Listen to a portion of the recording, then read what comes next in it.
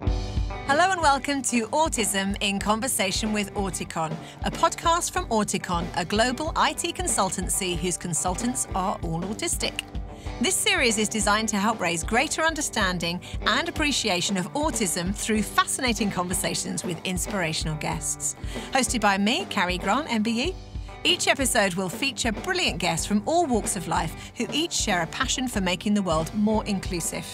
We'll be talking about the many benefits of hiring neurodivergent talent through to some of the more common challenges faced by autistic adults navigating the workplace, plus much, much more.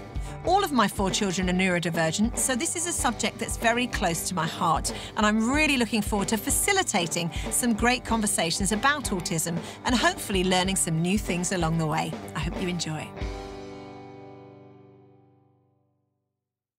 Hello and welcome to the latest episode of Autism in Conversation with Auticon. Now, as many of you who have listened to the podcast before will know, there are many, many benefits to employing a diverse workforce, and that includes neurodivergent talent. When it comes to bringing in autistic talent, making relatively minor changes or accommodations can go a very long way to helping make life more manageable by creating an environment that allows autistic people to thrive.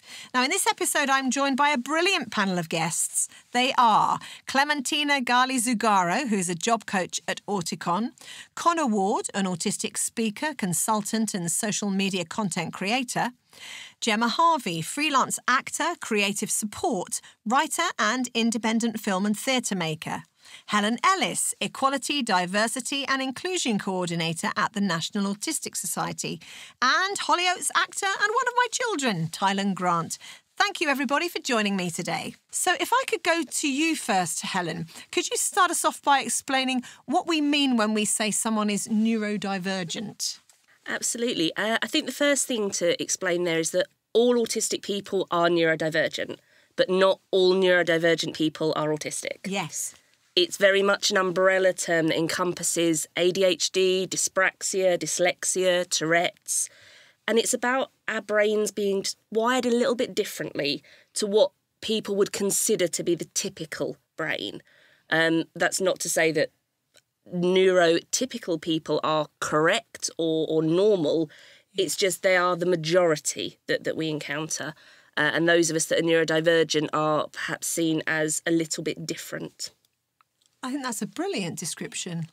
I mean, we need to just clip that and yeah. just put that out to everyone. Like, you need world. to know what it meant. This is it.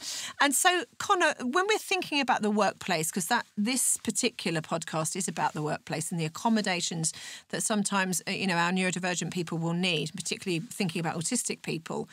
Can you explain to people listening what we mean when we talk about accommodations in the workplace?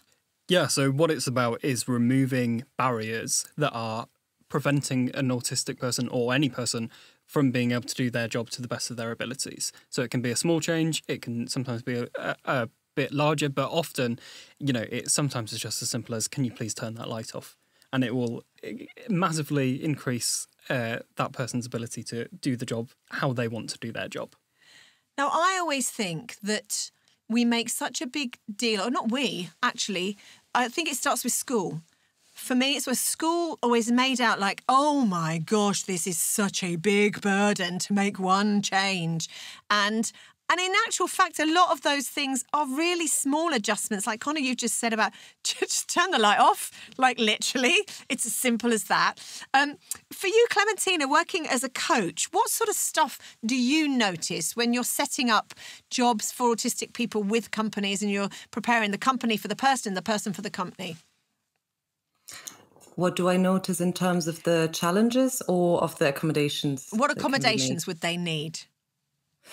So, as you say, often it's really quite small things. It, it really depends on the individual, I would say. Everybody will have different needs, but um, there are some things that that can be done that kind of in, actually improve things for for everybody, neurodivergent or not, but will have a particularly beneficial impact. Um, for, for autistic people or other neurodivergent um, employees. So it could be things like just looking at your communication and making sure that you are clear in your communication. So yes. maybe rewrite, re- checking in how you've communicated a certain thing. If it's clear to you as a reader. Um, yeah, just just making that kind of just thinking about that. Um, then also things like letting people know what to expect before a meeting, um, sending an agenda, and then summarizing it at the end. Um, so these are just some examples of things that I guess should be common practice, uh, but sometimes aren't, and can make a huge difference. Tylan, for you, what changes have been made in the work? You, you, are one of the lead characters in Hollyoaks. What changes were made for you and have been made for you? Um, I mean, I think from from the jump, um, when it came to Hollyoaks, it wasn't really a case of even um, it being one thing for me and then them having to change. Like I think from the beginning, um, they were very clear that they wanted to understand and um, help um, in any way that, that they can. Um, and so, I mean, even in the audition, they um, told me who I'd be seeing.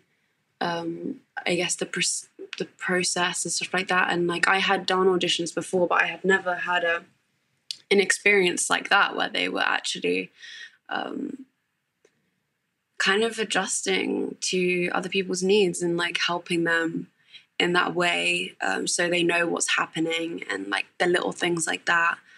Um, i guess also just the reassurance on set and the, the clear communication as well. Um, and I mean, from the jump, it was like very clear that they were um, not seeing me as a burden, and it was a a thing where they wanted to get it right, and um, it was less on, I guess, me and more of just them doing things maybe slightly different. Or I love what you're saying um, there, Tylan, about it being less on you. I think so often autistic people grow up with that feeling like I've now got to see how much I can possibly shapeshift and change my entire being in order to fit in with the world. But you're talking about Hollyoaks actually them thinking differently. They had a different mindset to perhaps the other experiences you'd had before. Yeah, and and they wanted to know um, things that maybe I would need help with or I would struggle with on set or things that would help and stuff like that. Um, they asked me um, beforehand, before I even got the part as well, my second callback. Um, and I really appreciated that because at first I was kind of nervous um, about speaking um, vocally about like the things that I struggle with and my experiences because I thought maybe that would like make them not want to work with me or it would make me too difficult. But they were super understanding and they wanted me to be honest and um, yeah, so it was really nice. Yeah, I think that. that's interesting how many people don't disclose that they are autistic for that very reason. They don't want to feel like they're a burden. And I feel like for you at that point, everything turned on its head almost like, hang on a minute, they're asking me what I want. I'm not I'm not used to being asked what I want. What do I say? Yeah. Yeah, it's usually like what can you change about yourself? Yeah. And part Rather than like that, what can we change? Yes, exactly, exactly. So, and part of that, of course, was the hiring of Gemma, who also happens to be here uh, with us. Um, tell us, tell us about how you came to be working with Tylan on Hollyoaks. Oh, just listening to them speak makes me so happy um, because to be a part of the process and hearing how much it changed their experience and will continue to change their experience um, is what the whole thing is about. Um, and I was lucky enough to be brought on as part of that project um, right at the beginning. Um, and Hollyoaks were looking to cast um, a new role, a brand new role, uh, a neurodivergent role. Um, and uh, I freelance for a company called Access All Areas. Um, and um, I was offered the opportunity to come originally just to work within uh, for the casting process. Um, now, course, I, I, need to make it clear that um, Access All Areas had actually worked with the casting team at Hollyoaks previous to that, um, because the brilliant work that they do is share awareness um, and and help people make the process more accessible. Um, so I was part of the casting process, and then um, I went up to Liverpool um, because they saw 120 people. Um, that it was an open call, which is incredible. And some of the some of the people coming into the room had never even been in an audition room before. Um, so it was quite a big responsibility to make sure that that experience was the best that it could be for them. Um, and then they whittled it down as as the audition process goes to six, um, and then I worked one on one with those six um, artists, and then. Uh, well, We ended up with Tylan. um, and then I was a part of the uh, of shooting for the first few weeks. Um, but what like what I have to make clear is from the word go, Hollyoaks was so great at recognizing that they didn't know they didn't have all the answers.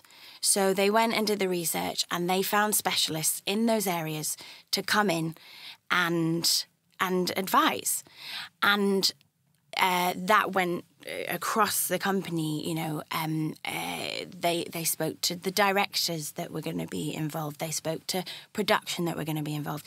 They spoke to script that were going to be involved. There, there was a lot that went into it. Um, but what the reason why I like try and share this story as much as possible is it is it's so simple. it's about asking people who know, and I just think I am just talking about my industry particularly. It's so closed and it's full of people who are scared to ask, so they just don't do, and that's that's not okay. Yeah, that really isn't okay, and it is. It is interesting to to note that. I mean, we Ty and I always say this that a lighting rigger on Hollyoaks has had more autism training than any teacher that ever taught Ty. Oh my gosh! Yeah, there you go. there we go. right there. Um, Helen, what's what's the experience? Obviously, you're you're looking at diversity and inclusion in the workplace um, at the National Autistic Society. What sort of challenges are there for people in terms of the- the accommodations that need to be made? Those changes. What things really help people, and what things are difficult for them? I think one of the biggest challenges in the workplace actually is some of the clashing needs for autistic people. We've got quite a lot of autistic staff. Uh, and so within our office, you might find that on the same floor, there's someone who really needs natural light and can't stand the artificial lights being on. But then there's also someone, perhaps like me, who really needs a lot of light to concentrate and so can't focus on just natural light alone. So we, we might even have thought those. about yeah. that. clashing needs. Oh gosh, clashing needs. Yeah, so there are times you have to really be thinking, okay, well, we need to make sure those people sit on different floors perhaps so they can have control over their own area. Maybe we alternate the days of the week they come into the office so they, they work from home at different times. Um, but mostly it's about talking to an individual and going, right, what is your sensory profile? What is the perfect workplace for you? And how close can we get to that within the realms of what is reasonable for everyone else in the workplace? Because as much as I would love to say no one in my office can wear perfume ever again, that's not entirely reasonable to ask of people.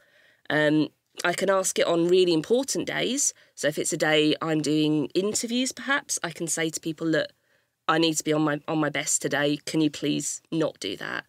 But not every day. Um, and it certainly isn't a case that I could ask people on the bus to not do it. So you always have to think about what the word reasonable actually means when it comes to those accommodations, as well as thinking about the fact that accommodations are for more than just autistic people. One of the key things we always say to managers when they're a bit kind of like, oh, I don't know how to make accommodations. Well, actually, you do, because parents, you let them stop working at a certain time to go do the school run. If someone has a bereavement, you give them time away from the workplace to be ready to come back. If someone has other forms of need, you find ways to accommodate them. You just haven't thought about our needs before. You mentioned there, Helen, sensory profile, and Clementina. What other sorts of uh, accommodations would be, would there be apart from looking at someone's sensory profile when when you're linking up that person person to the job? What other sorts of things may occur? So, when talking about autistic uh, employees in particular, um, I think there are many, but some of the more common ones that we find in the workplace um, can be around work patterns, for example. So, some people like to work certain times of the day, they like to concentrate, maybe not have meetings for a while, um, like to work late in the night when no one's disturbing them. Um, so, that could be one. Um, the kind of information uh, processing style that they might have and learning style, preferred learning style. Um, not only preferred, but actually the one that they might thrive best on. So someone might be a visual um, learner, and just not being presented with that means that they might actually not, you know, with with the option of of using visual tools means that they might not um, work to the best of their ability. So giving space to that um, communication and communication preferences. Some people like to, uh, you know, talk on the on on the phone, and some people like to have the video. And some people really don't like any of that and would like written communication only. And there's anything between there as well. Um, so time frames um, help with deadlines and prioritizing. These are just some examples. So as you can see, it's it can be very vast. Um, but I also, if I may, um, wanted to latch on to something that was said earlier about um, kind of asking um, the individual about, you know, what their needs are. Um, and I think sometimes we also maybe put too much. Um, so we we think, okay, once I've asked the individual, which is already the a great step, then we'll have the answer. But maybe that individual themselves haven't been asked before. They haven't really thought about it before. Maybe they've just been diagnosed. Maybe they haven't even been diagnosed. So I think even just opening it up um, as a discussion in the team, um, as like, you know what, do you are you finding that this 8 a.m. meeting every day is working for you? Or maybe shall we try out something else? And then maybe the kind of trial and error um, approach can be really useful to finding out what someone's personal needs and adjustments might be. And Clementina, uh, obviously, Tylan and Gemma both spoke about the kind of, I mean, Hollyoaks were gung ho about getting it right, but is, is, that your experience when you go into companies? Uh, uh, are companies willing, able, keen to make those changes, or or do you feel like, oh my gosh, I'm really having to ask for a lot here? Um, well, the thing is, companies are people. So um, I think it's really hard to. On the one hand, you've got a company culture, which might be, um, in the best case, an inclusive company culture. So you'll see that reflected in all sorts of, you know, behaviors and policies in the company. Um, but you still need the the individual person as well. And the other way around, you could have a company which is really not inclusive, but you might have a manager who's really interested in making oh, it yes. inclusive for people. So I've had experience on, of both of these situations.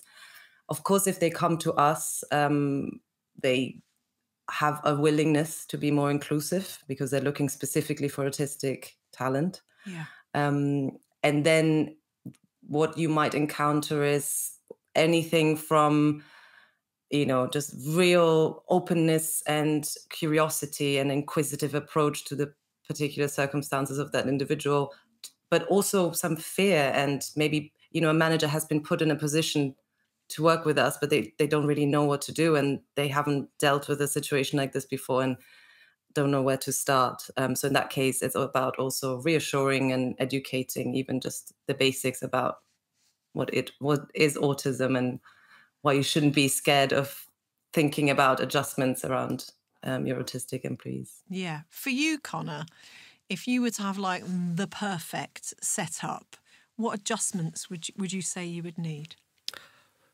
That's a big question. Um, to be at my home, first of all, because and then it's me who's in control of everything. Uh, however, that doesn't always work, of course. Well, like today, we're in person.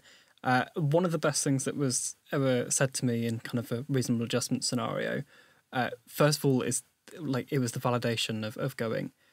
Uh, this isn't a burden because I, I automatically feel if I've got to ask for anything, even in this context, like it, I feel like I'm being a burden. Um, but and then it, it was said to me, you shouldn't just be coping. You should have the potential to enjoy, um, and that makes a massive difference.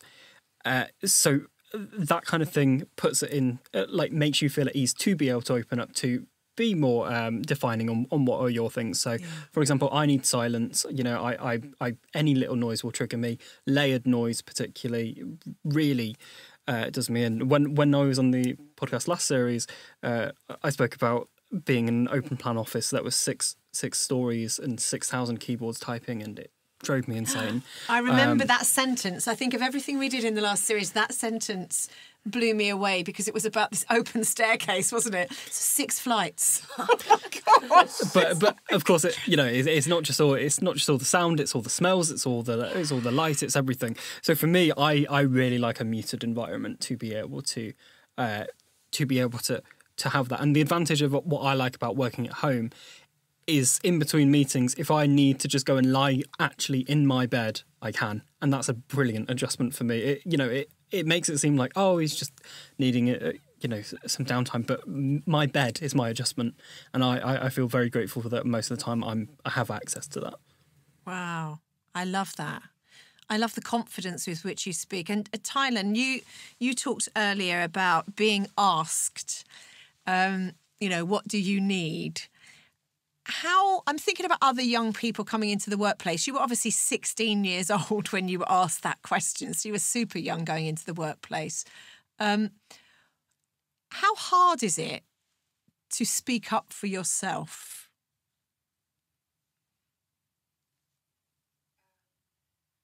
Very difficult. Very hard. Yeah. I mean, being autistic is is I mean that there, there are layers of reasons why it's hard. Um, but I think that being autistic is just like the the cherry on top.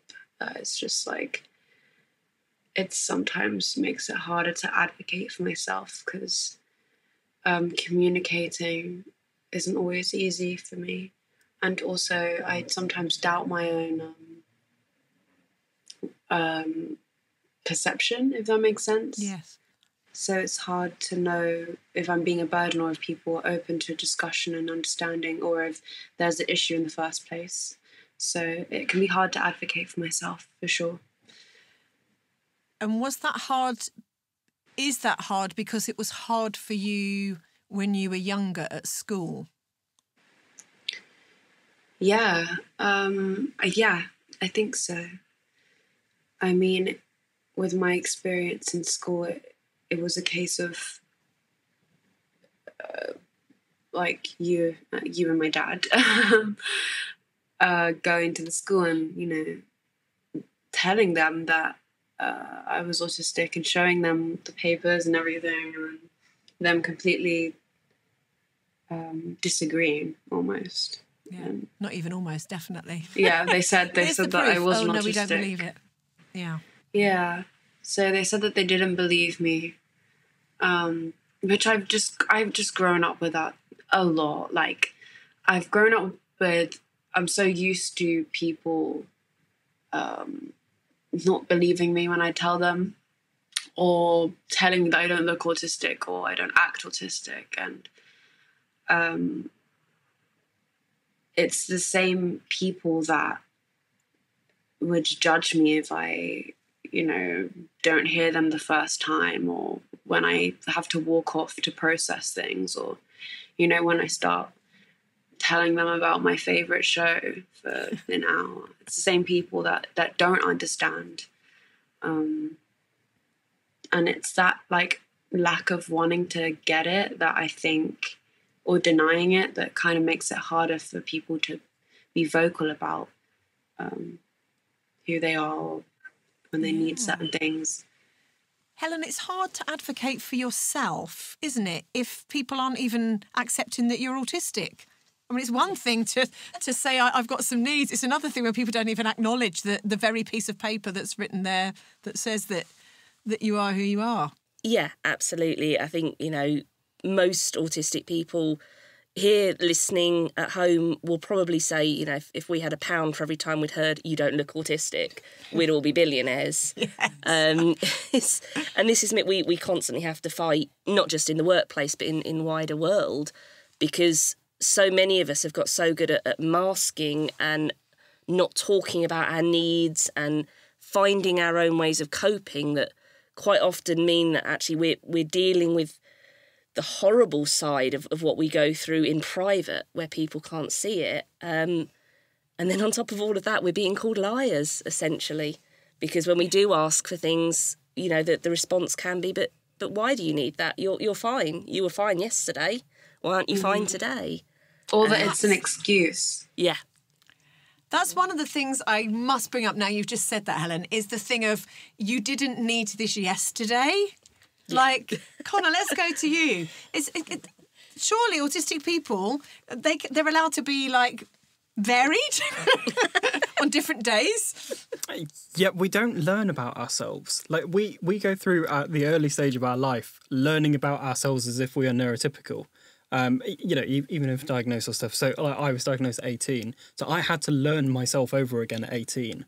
Of course, I'm still learning things now, even six late, uh, six years later. Um, I, like I, I definitely feel that um, that talking about my own needs, so in the workplace context and I, I, in the workplace context, even I've seen this for other people, has given me the confidence to then talk about my needs outside of that, to put it into you know social life, family life, etc. Um, yeah, I, that confidence, I'm really quite happy that that's it's brought me that. So one of the things we need to say is that all autistic people are different. Plus, all autistic people are different on different days. Yes. Can we add that extra bit to the sentence? For all we love consistency, we're not necessarily very consistent ourselves. Who is? And, and, also, something that really has been brought to light there you don't look autistic. Yeah. What, I mean, what does that even mean? It's just horrible that that's what we're facing still. Exactly. Uh, yeah.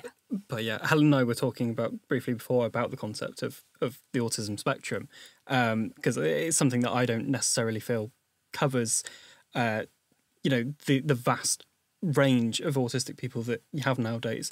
It's quite simple as autistic people are different people because we're different people, and people mm. seem to forget that point. But there are so many factors that make us diverse as humans that that it's just not covered in in something as simple as as a spectrum. So yeah, it, it's about time that we just appreciate people as individuals, and that's why we have to be so person centric with things like this. Clementina, I'm thinking about those people that go for jobs um, that need those adjustments, those accommodations, and yet there are so many people who are I was going to say yet to be diagnosed. Maybe they never will get diagnosed actually because it's you know we we still we know it's still a big problem even getting an assessment these days. Um, are there people that Auticon would work with who perhaps have those autistic traits but don't have the piece of paper that says? And do you still work with those guys? So we are working on understanding how to do that just from a um, you know perspective because we, we our social mission is um, of course giving employment to autistic individuals who are um, are the, even within the diagnosed uh, community it, the unemployment rate is, is staggering um, so those are it has that's been the main focus of the company so far but we also understand that it's really hard to get a diagnosis um, and there's a lot of uh, waiting. There's a lot of waiting times on top of biases, even in the medical community. Um, so it might not be the easiest thing for someone to get a diagnosis. So we're kind of working on that right now. Where yes, we do need to give priority to individuals who have been diagnosed and have not been able to um, to get employment, but we also don't want to exclude those that yes may have autistic traits um, and may not have gotten to a diagnosis just yet. Um, and at the same time, we're also learning a lot about neurodivergence in general because we're finding that a lot of there's a lot of co-occurring conditions. So we may have started with autism, um, but now we're also just widening our understanding of of ADHD and, and dyslexia and how the the you know how the various conditions also overlap and how they interact um, and what adjustments may be needed as a result of that as well. Yeah, there's a lot of overlap for sure. I know that from having four neurodivergent children. You sort of go, hang on a minute, that's the same thing that's in this one, but they've got totally different labels, as it were. Um, so we've got this question here What are the top three things organisations can do to make their workplace more inclusive? Helen. Ooh, um, I think it's the workplace culture that is the main thing. Anything a workplace does has to come from the top. It has to be believed in by everyone in, in the leadership because it's all very well writing lovely policies and putting nice slogans on the wall and saying you do all this stuff. If it's not consistent across a whole company or business or organisation, you can't just survive on good little pockets of, of good practice on really good managers and hoping that you get that manager. It's got to have that consistency of everyone saying, yeah, we believe in this. This is the right thing to do. Why wouldn't we do it? You need that attitude of why wouldn't we be this way for autistic people? Why wouldn't we create an environment where someone can ask for an adjustment as and when they realise they need it? And it needs to, to be led from the top always. I love that. We don't need three things because that one thing covered everything. Uh, so that's the culture. I think that's uh, that's got to be. I mean, I thought you kind of summed it up there so brilliantly. Uh, has anyone got got anything else to add? Clementina, I'm thinking about the work that you do. Uh, what what makes the biggest difference? Um, if I may just add to what um, was brilliantly summarized just there, and also to go back to something that was said earlier um, one well you know about how you don't look autistic or um, are you sure you didn't need it today because you didn't need it yesterday? Um, and in some cases it's less uh, obvious that you're actually doing that to someone autistic by just asking are you sure you need that assisted technology? Um, you, you know are you sure you need those headphones? Even if it's just like a confirming question it puts into question why that person that may have needed a lot of you know bravery to come up to you and ask for that adjustment and just puts it again into question which will probably make that person feel more insecure more like a burden. So that element of just accept what people may need without asking without judging. Of course there is you know if, if it's something that is uh, impossible to deliver um like i think helen was saying earlier about you know you, you need to also have conflicting uh, needs met and so often. Um but the judgment part and the not asking is a bit part of it.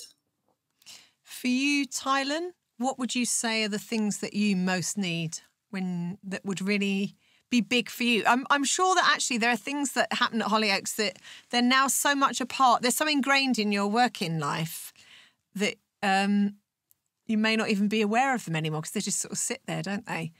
But what are the mo- what are the big things for you? uh,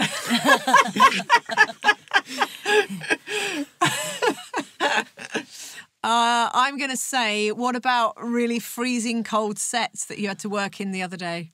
Yeah, but there are some things that I, I, I think some people.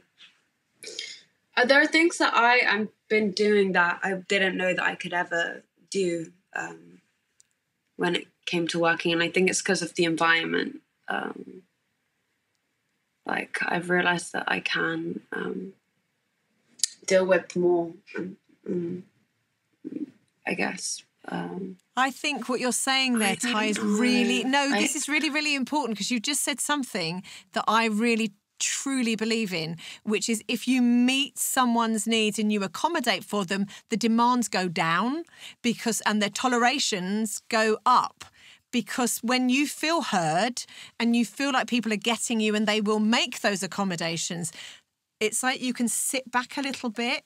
I think there are things that you do now that you would, yeah.